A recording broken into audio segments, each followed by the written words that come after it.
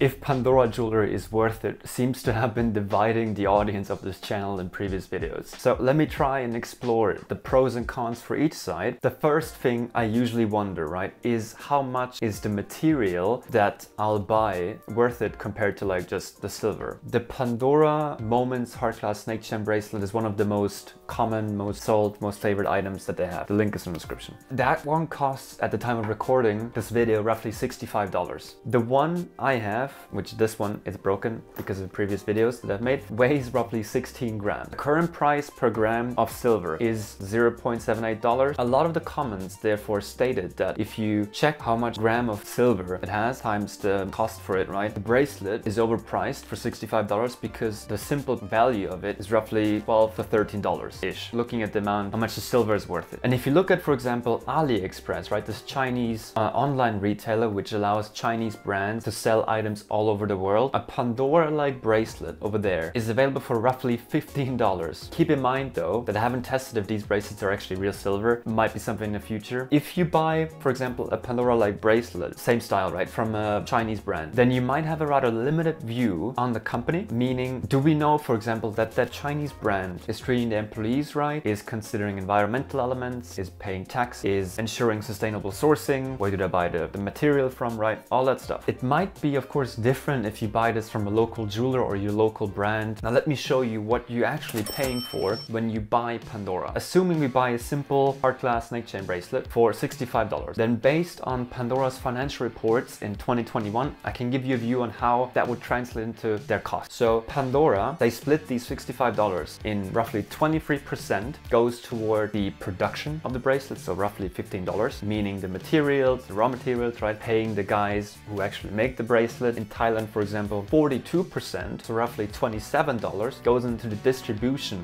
of the jewelry to more than 100 countries. The employees are involved in the sale of this item, so the guys in the stores, right, for example, and the marketing, the ads on Instagram and all these things, right, to showcase Pandora to the world. 16.42% or $10 to $11 are costs on administration, financial costs, taxes, and such like this, right? Leaving Pandora with only only 17.78% of profit of this bracelet. This obviously doesn't consider everything, right? I just tried to make a simple example of how they spend our money when we buy stuff from them. So yeah, producing the bracelet is in fact one of the cheaper part of this whole process, right? Now, I however think that just looking at that simple factor can't just constitute the value of a bracelet in and by itself or the brand, right? There's other things such as do people recognize that you wear Pandora? But I'll park this for a moment because the next thing I usually consider when I'm considering in buying a bracelet is how long will this bracelet last? What's the quality of the bracelet, right? I did test if the its resilience on previous videos. Pairing that with the comments that you've given me, it gives us a view on how much, wear one gets out of Pandora. Pandora has different types of metal that they're selling, right? So sterling silver can maintain its beauty longer with proper care and storage. I've seen however in the comments that it can last five years plus, and also that the tarnish is easy to some, for some people. 14 karat gold can pretty much last a lifetime. It's just because of the nature of the gold. Plated jewelry, I've seen that on average it lasts like two years before some plating might show, depending on how much you wear it, of course, right? But it can happen that might scratch off a little bit. Again, if you own Pandora, let me know in the comments what your experience has been so far. I then wonder, would people actually recognize that this is a Pandora bracelet? YouGov Ratings is a website which measures popularity and fame of anything and everything in millions of surveys around the world. In the US, 83% have heard of Pandora. 43% of the people who have heard of Pandora like Pandora. 30% people who have heard of Pandora are neutral to Pandora and only 10% straight out dislike the brand. From all the female participants, 89% of the women have heard of Pandora and 51% of which actually like the brand as well. In the UK, we have a similar similar distribution of 94% have heard of Pandora. And of all the people who have heard of Pandora, 49% like it. Interestingly though, Pandora is ranked number six on luxury brands in the UK. Tiffany & Co is ranked number 23. Lastly, I checked Google Trends, which basically measures uh, the popularity of how many times people have typed in Pandora on Google search versus Swarovski, Tiffany & Co. and the rest as an example, right? Looking at the United States alone over the last five years, then you can see that Pandora has been typed in quite a lot more than the others over the last five years, which just gives us an indication that it seems that the brand is quite popular. By the way, my name is Ricardo. If you thought so far this video was helpful, please leave a like, that would be awesome.